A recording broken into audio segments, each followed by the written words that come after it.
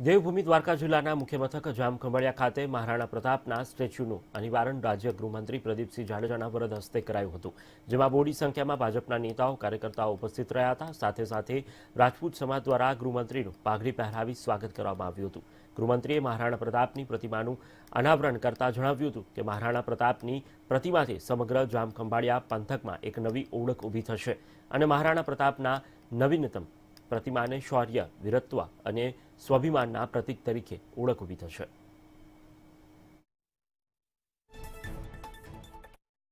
ખંભાળિયાની જે પ્રસ્થાપિત ઓળખ છે, એમાં હવેથી સમગ્ર ખંભાળિયાને મહારાણા પ્રતાપની એક નવીનતમ પ્રતિમાના કારણે એક નવી ઓળખ ગુજરાતની અંદર પ્રસ્થાપિત થશે અને મહારાણા પ્રતાપની આ પ્રતિમાથી લોકોમાં શૌર્ય વીરત્વ અને સ્વાભિમાનના પ્રતીક તરીકે એની ઓળખ થશે.